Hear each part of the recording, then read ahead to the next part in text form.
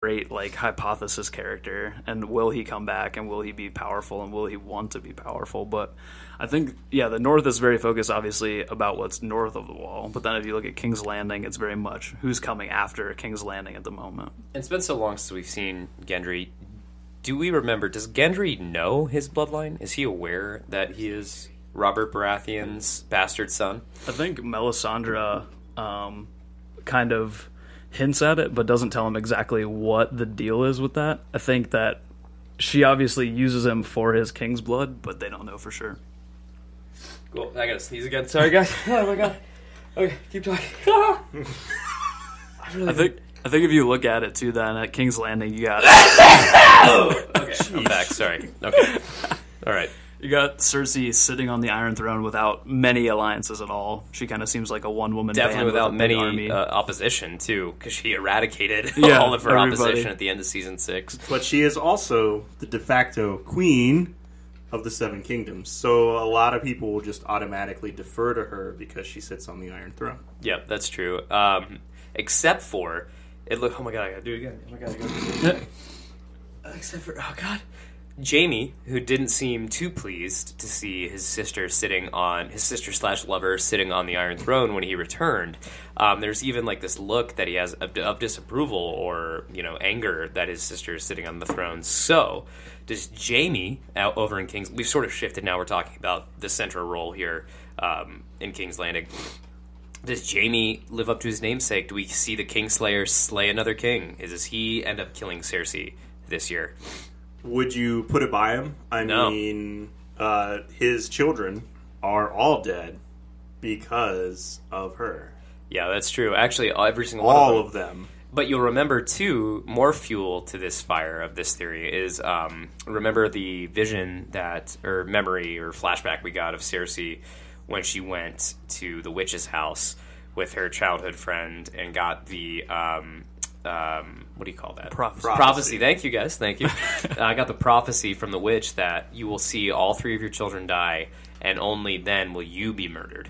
So the the prophecy ends with that she's going to be murdered after her three children are dead. Her three children are dead. So I mean, I I think it goes without say at some point Cersei's going to die. Um, Who kills her? Who killed? I think Jaime Lannister kills her. Shout out to my wife Kendall has joined. Um, uh, longtime backgrounder in the Hold On to Your Butts show. Fans will know. um, so, so I think I think yeah I think maybe not this season because this season is, is shaping up to be a big Cersei season um, just based on the trailers and stuff. But I think soon we're going to see Jaime Yeah. take care of business there. She's gonna kind of, I think, employ the kamikaze, you know, mindset. How many can I take down with me? Because I'm not going down alone. But I think, you know, it's funny because you know her kids by were her moral code for a long time, and she even tried to protect Tommen before he jumped out the window, and that didn't work to advantage. So I think it's kind of game over mentally for her as like what is right and wrong, and she's got the mountain by her side. So it's just like. Yeah, how many people can I take out before I gotta go to? And Jon, you mentioned that Jaime is reeling from the death of his three children too, but to me, Jaime's like number one priority has always been Cersei, right? I mean, like whenever he gets back into King's Landing or something, he goes to Cersei and says it's just going to be me and you. And there's even a few times in the last few seasons where it looked like Cersei didn't care as much and was sort of like pushing him aside and you know was was worried about Joffrey or was worried about somebody else or worried about something else. So it seems like he's sort of been pushed aside and is only there for um, Cersei only looks at Jaime when it's convenient, sort of, if that makes sense. It does, and and you know, I think calling back a couple seasons ago, I mean, uh, Jaime's relationship with Tyrion. We're gonna start to transition over to another group. Uh, Jaime and Tyrion always kind of got along. They, you know, Jaime seemed to like his brother. Cersei did not. So you know, there's a lot of there's a lot of built up tension between these two that I think we're gonna see come to a head. If not this season, it's. I mean, obviously, it's got to be the season after because then we're done, right? Uh, but I, it's no. gotta come to a head this season because I think it's so pivotal. And I mean, so it's it. Jaime is most positioned to kill his sister. I don't know if Jaime's going to be the one who's going to do that. Yeah. Um, I just feel like for the plot line, it's killer. Like, how does that not happen at this Yeah. point? And the way I think there's another said prophecy from a book, you know, piece that says like Jaime Lannister and Cersei Lannister will die at the same time. And then there's also a dialogue from Jaime with Edmure at River Run saying, "I will do anything I can to get back to her." So it's like they're gonna go down. They might go down together. Ooh, I like that call. That's okay. We're getting into our predictions. Let's let's get back to let's who's are they? who else is is Cersei aligned with in King's Landing, and who else is in King's Landing at the start of season seven? It's really pretty minimal, isn't it? I feel like it's really just her. Jaime comes back, and it's all of the people, all the army that they already had, and any Lannister family that would already be there. I don't think it's really anybody else. Not really anybody else there. No. Everybody else is kind of converging on King's Landing as they come, and then there's the North, obviously, where a lot of people have converged. So it's just, it's hard for me, and a sort of segue here. It's hard for me to picture King's Landing being able to stave off an attack from Daenerys. Uh, In that trailer, we are reminded that Daenerys' army consists of three dragons. Yeah. Uh, uns- Check. how many unsullied? Oh, I don't Like know, but thousands. thousands, Thousands tens, hundreds, thousands of unsullied soldiers. Um, now uh, the Greyjoys, well, at least the rebel of the faction, half of the Greyjoys. Are, are there. In uh, what's her name? Uh, Mir- Mira. You got Yara. uh, Yara. You've got Yara. Yara and Theon Greyjoy with no penis. That- good. Yep, you're right. No penis. Sans Uh, penis. Young Greyjoy sans penis. But yeah, you've got then you've got the Unsullied, the Dothraki. oh, the Dothraki. Jesus Can't Christ. forget about them. And at least in the book, she's got like several other mercenary companies that are like following her Uh, from where's she coming from? the uh, uh, Meereen. Ma- Meereen at this point. But I mean, don't forget she she conquered Astapor. She conquered Yunkai. She put down a rebellion. She's got the second sons, Daario Naharis. Jorah Mormont is somewhere wandering the desert with grayscale, probably. Yeah. I mean, as far as sheer numbers, I think I think uh, Daenerys Targaryen is is Yeah, well, some, something that's interesting to me is like you feel like she's unbeatable, but Oh then God, that's yeah. when everybody falls in this series, right? Is True. like, yeah, the powerful go. So I, I don't know, and I feel like Euron's hot on their trail, and he's like, got revenge on the mind, and that dude seems like a badass, but we don't know anything about him really. We just know he's an uncle. We know he like came and just killed the guy who was, you know, dealing the um, King of the Iron Islands, right, and just took it pretty much. And Yara and Theon were like, well, we gotta go. That's how powerful this dude is. So he's on their tail. Had to go through that like really awful like coronation where they drown Right? him. Oh God, Jesus. Um, Getting that yeah, salt water. You're right, though. You're right. Like they feel, or Daenerys, the the tar- what do you call these guys? The Targaryen army, I guess at this point. I mean, Yeah. Daenerys army. Okay. Um, the Daenerys dragon and her army. entourage. Yeah, the entourage. They feel unstoppable, and they have been. Even in like the most sticky of situations, it just sort of ends with like you know Daenerys walking out of fire naked, and they're good. like that's happened. that's happened a few times, right?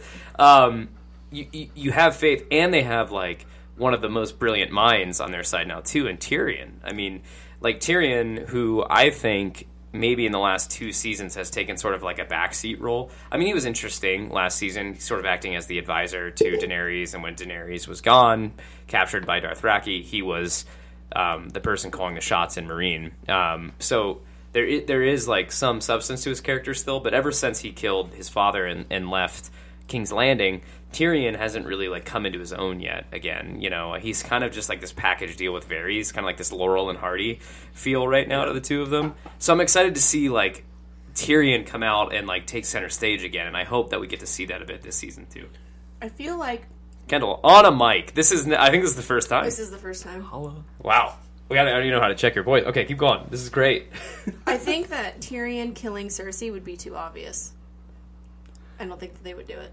Well, yeah, I agree. I think they're. I think they they've talked about that. Like, I think where did we hear that a brother was going to kill Cersei or something, or there was some talk about that somewhere. Yeah. Am I crazy? Okay, It's just another said prophecy.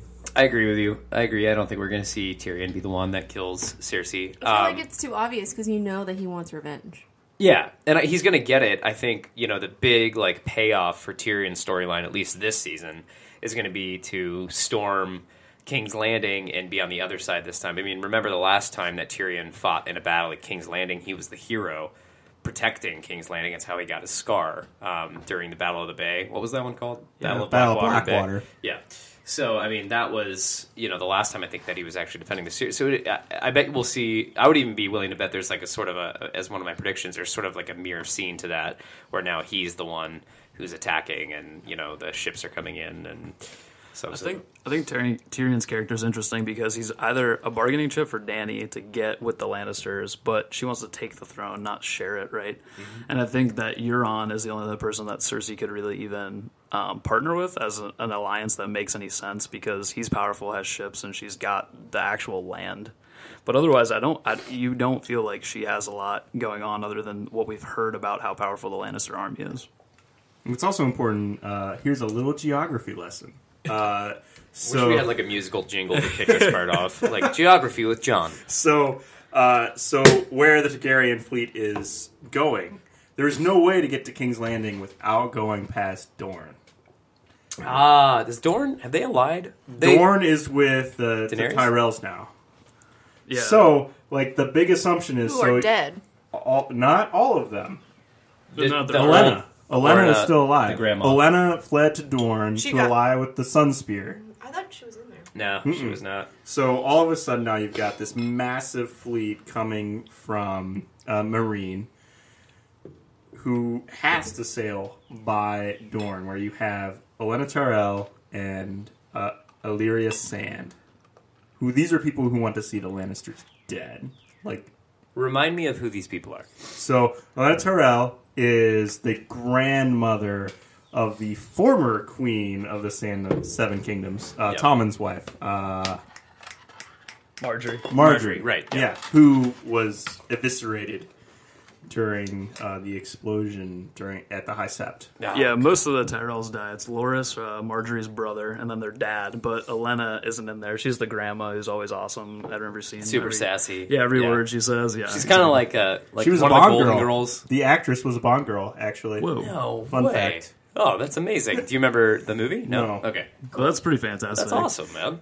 So I think like when you look at Dorne, it's the Tyrells and like the Sand Snakes, and then you see Varys in one of the maybe it is the finale in Dorne with them, and then you see Varys back with Dany, and they have ships. But what we don't know is like when they come to Dorne, are they going to continue with the rest of the army? So you're right. There's like a ton of Tyrells that die in the High Sept or whatever that building's called, mm-hmm. and then but there are still like the army and the people that live south of King's Landing or wherever that is. Yeah. High Garden. It's it's cool. Like get trippy on you guys for a second, but like Dorne and the Sand Snakes, like to me, their characters and what they're capable of, like they literally feel like snakes. They feel like the snake in the grass. Like Dorne is the wild card. Like what they do, could, you know, could drastically change the outcome of this war, and it's going to happen when you least expect it. You know, they could switch. Of all of the families that are now getting involved, like the Dorne kingdom, to me feels like the one that could easily switch alliances when you least expect it, right? Like everyone else feels pretty much cemented in their alliance, but Dorne, you know, hates the Lannisters. Number one, that's you know first and foremost what's driving them. They wouldn't ally with them, but if the tables changed or, or flipped and they were able to you know get a shot at the throne that's that's another thing that they've been talking about as a family right is is sort of regaining the throne for Dorne did they ever hold the It's throne more of an independent Dorne. I mean, Yeah. keep in mind, it's like, so what do the Greyjoys want? The Greyjoys want an independent Iron Islands. Uh, so Dorne is pretty much the same way. What do the Sand Snakes want? They want an independent Dorne. Uh, so it's it's going to be really interesting to see how everybody who has these very different in-game goals Yeah. comes together to, at this point, beat the Lannisters. as a transition topic before we talk about well i think we've covered Not most of everybody. i want to talk real quick before we get into that let's talk about euron greyjoy There we go. who is that what you're going to say That Who's he? uh, euron greyjoy is now the king of the salt throne The Iron The Islands. uncle? Yes. yes the uncle from um, who killed theon's dad theon and Threw him off a bridge. what's her name again? I can't- Yara. Yara's Yara. dad. Um, threw him off the bridge and went through that like drowning ceremony, coronation ceremony, and stuff. So he, I f- like. There's a theory out there. and I base all these theories based off of literally the trailer that we watched right before we started this. um, but that he might align with Cersei, um, and obviously, you know, fight against Yara and Theon. Is that something that you guys see happening, or where do you think Euron's going to end up? So what's what's interesting about that, and they did mention that, and I was thinking the whole time, like, well,